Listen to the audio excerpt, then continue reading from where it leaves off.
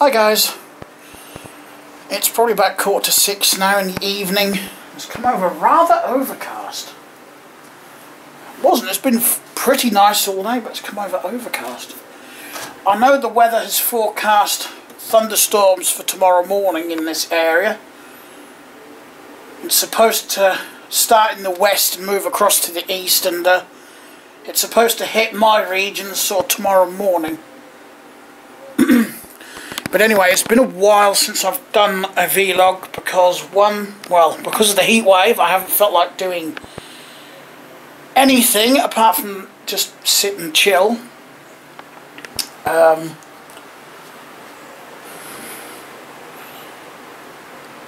plus, I got a letter from the DWP, Department for Wankers and Pricks, I mean Working Pensions. Wankers and Pricks actually fits them better, but I suppose they can only do what the government tells them to do, you know, the government makes the rules after all. But still, they decided to terminate my ESA claim, my Employment and Support Allowance, which I get for my uh, Asperger's syndrome. Um, which stressed me out to no end. Really shouldn't have gotten stressed, but things like that, for some reason, really do get me stressed. And of course, I get stressed, I then get depressed. So that's another reason I didn't make videos, because I wasn't really in the right frame of mind. But uh, anyway, that's all sorted. I got... We phoned them Monday, and they said we'd give you, you know, three hour call back, no call back. So Mum rang them again yesterday morning, and they rung back within a couple of hours. And then she rung back again, because she what um, well, she rung back, had to email a colleague to get more information on why my claim was terminated. Um, then she called back later that day saying, you know, still haven't heard anything, but, you know, could, they will call back and it could be like today, which, well, would have been tomorrow or next week. I was like, well, okay, we can't do much more than that, so... Typically yesterday I was sitting on the bloody throne when they rang. So I'm sort of walking like this through the flat with my trousers around my ankles trying to get the phone. or my shorts I should say because I'm not wearing trousers at the minute. Or should I say pants? Pants. I actually prefer to call them pants and trousers. I don't like the term trousers. Anyway. But they called back today saying that they've reinstated my claim, so I haven't got to piss around making a new claim, because they realised it was closed due to their own error. so, yeah, all sorted, so I don't have to worry about that. In theory, I should get paid as per normal after 12.30 tonight. If not, I'll be on the phone again saying, Oi, you reinstated my claim, I'm due a payment, pay me. Because it, it may have messed up on the system, I've had things like that before. I've actually had it where around sort of like when the tax year ends, sometimes you don't get paid because the computers haven't readjusted and they don't send the payment out, but usually when that happens, quick phone call and they just you know, set it going. Within a couple of hours, you have your money in your account. anyway.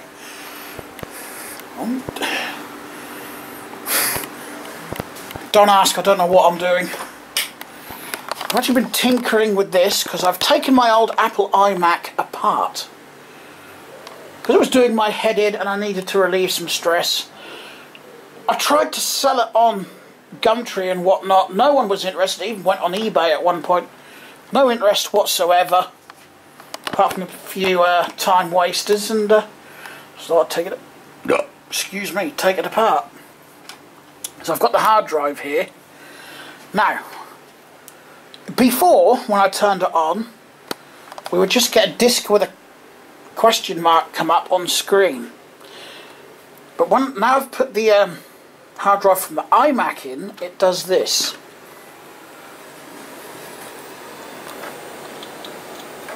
This is something it never did before I put the um, hard drive from the iMac in. There we go. Ejects. And that should come up with a floppy disk icon with a question mark. There we go. So I'm wondering, I'm not an Apple expert. This is one reason I want to keep this machine, because I wanted to learn.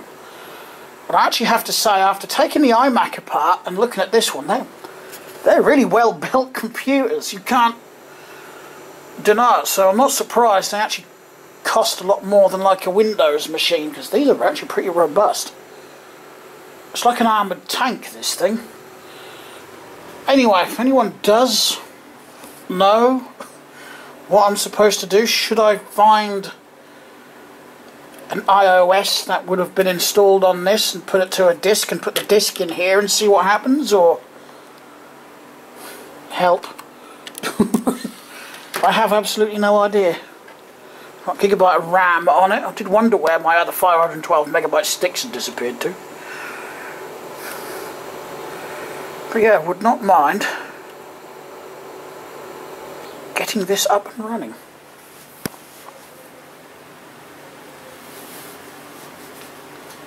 Oh shit, bent my earlobe. That. Picked this up Sunday. Another British Telecom cone, a rare one round here. I've never seen this one. A um collector friend of mine has got one. And actually another guy I'm talking to here, I won't give out his real name, but he's also got a couple. One, two, one, two, I can't remember. um, they live in different they live in different parts of the UK, but I've never seen this one round here, so I was quite pleased to pick that one up. It was in some weeds, all I could see was a little red top. But Mum stopped on the way back from hers Sunday. Because she's a wonderful mum, she'll do things like that for me. She don't care. But, be warned, if the cops do see you and they want to be assholes, they can do you for theft by finding. So, I've never been done for it. Didn't know that existed till I was... Till me and a friend were talking to um, a couple of wanker PCSOs around here they'd stopped us. We were taken. I, I, wish I had this camera back then, but my friend didn't like it. No one likes being filmed. I don't know why, but uh, you picture it. This huge bike trailer was actually the length of a single bed, like this. Because that's what he made his um, trailers out of for his bicycle, just an old bed frame. Full, you know, of scrap like so high. In fact, once we had three quarters of a ton of scrap. I'm not kidding, the guy in the weighbridge office actually thought his scales were broken. no wonder that was such a chore to get that down there. But anyway, they stopped us. And they wanted us to, um... Well, they said if they caught us taking scrap like that again, we should have had, or should have a um, waste carrier's license. But, uh, I did a bit of research on that, and no, you don't. Not if you're going from your own home and getting rid of your own waste. You don't need a waste carrier's license, which is exactly what we were doing. You know, we weren't going around gathering scrap. This is just shit he'd accumulated over a period of time in his yard, and we were getting rid of it. Or in his garden, I should say. We were getting rid of it. And that's what this particular PCSO was like. I don't think he still does it because I haven't seen him for ages. Good, he was a complete tosser, but never mind. But uh, that was uh, him that said you can get done for theft by finding if you pick things up off the side of the road and whatnot. Anywho, this bike, it's assembled, it's complete, and two-thirds of it work. As in, the brakes work, the rear gears work, front gears being a pain in my rear end. Um, it'll shift via the gear lever into second fine, but won't go into third at the front. But if I disconnect the gear cable from the mechanism here, and just push the mechanism with my hand, it'll go into third gear fine. So I've either got an issue with the cable or the shifter, and I'm hoping it's not the shifter because that's going to be an arse ache. Because the shifter is actually part of the brake lever as well. It's all one assembly. Which means I would have to disconnect all the brakes as well and the same that side and swap them all out for something else. So yeah, it'll be a complete ball ache to do, but it'll be what I'm changing that seat as well. That don't look right on there, does it? That really doesn't look right. It's the only one I've got at the minute as well, I think. I have to go digging around in my closet up here. Uh, I've had a bit of a shift around with some lights. I've got the Mark II Tild on, hanging next to the Mark 1. And I was asked earlier, did I ever see them on the roads? Yes, I did. I must have been about 11, 10, 11, 12 years old, something like that. No, I was about 10 years old, 9, 10 years old. Um, the electricity company around here was Eastern Electricity and they used those. So they were one of the first lamps I actually saw. But I think the actual first one I remember seeing was actually a paraffin one, the yellow Dorman paraffin one, which I wouldn't mind getting my hands on at some point. But uh, other than that, I've seen other lamps used over the years around here, like this one, the Permic, these mono lamps, I've seen some of them used. These ones I do still use, still use C sometimes. That's really good grammar. I'll try again. These uni lamps I do still see used at times. Uh,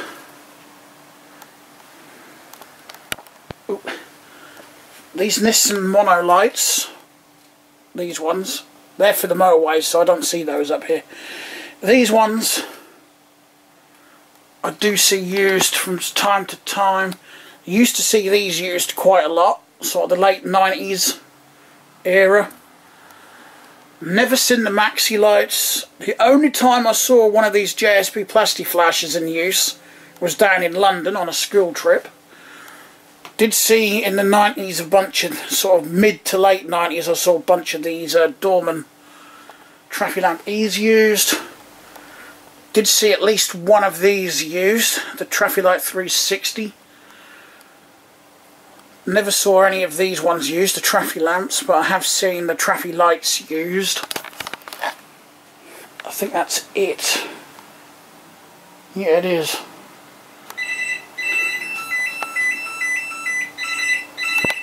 That's what I say to the phone. oh, I'm going to let it ring. I'm in here so it's not going to be too loud for you guys. Probably a debt collector anyway from Cabot bloody Financial or whoever the fuck they are. they keep ringing me. And because I was waiting for the... Let me just listen to the answer phone.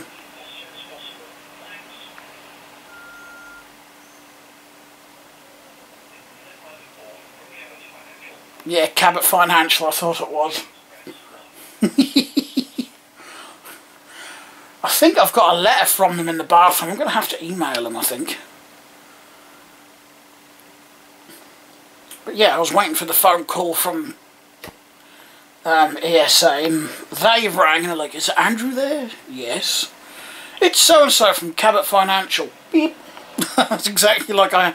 I can't deal with things like that. I know I shouldn't, but bollocks to them. That's what I say, Nemo, bollocks to them. Getting a bit warm now. i have to go and sit back in front of the fan. Oh, I spent all of last Friday fixing inner tubes. I fixed four in total because I had to do the two on the bike my brother's now got. I took it over um, Sunday. Forgot the bike lock so he couldn't actually use it today. So mum had to pick him up and take him in I suppose. So I'll have to remember to give them a bike lock. But yeah, one of the tubes on this one is actually got three patches on it. It had three holes.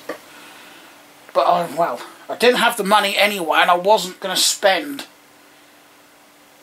I can't remember if they're five ninety nine or six ninety nine now, but something like that, about fourteen quid it roughly per bike in inner tubes. And when I've got a perfectly good puncture repair kit there. And thankfully none of the patches failed because I've got a bit of a cheat. You're supposed to put your glue on, let it go sticky, so you leave it for about a minute or two, just let it go sticky. Put your patch on, and then I get something heavy, in my case the motorcycle battery I've got up here, and sat that on it so it's pressing against it, and then just put that on a, well obviously not a sharp surface, and just let it sit like that for 10-20 minutes to set. That's my that's how I've always fixed patches. Or punctures I should say, not patches. oh, a sticky back. Anywho, I'm going to leave this video here, I think. Nemo wants his dish topped up. Speaking of Nemo, do you what I did yesterday? I couldn't believe it. I thought I'd fed him, and he was running around meowing, wanting food, and I'm like, I've already fed you. And I come in here, right, and I found his food dish up here. I'd only gone and put the tin of food in there because I emptied what was in his dish out because it had fly eggs on what was left in there, there's a few chunks of meat in there. Put it on there to fill it with cat food again. But for some reason, when I got the tin out of the cupboard up there, I just went straight down and tipped it straight into his water dish. I couldn't believe it. I thought, what a tool. If I get hungry later, I've got some jacket spuds there. Anywho, his dish is empty, so I'll top that up for him and get myself a drink as well getting a bit sweaty Betty. But why this is actually a t-shirt I was wearing Sunday, I have no idea why I put it on today. I've got so many red t-shirts, I must have got confused. Because I know I was wearing a red t-shirt yesterday, I just can't remember which one. anyway, thanks a lot for watching, and I will talk to you all again soon. Bye!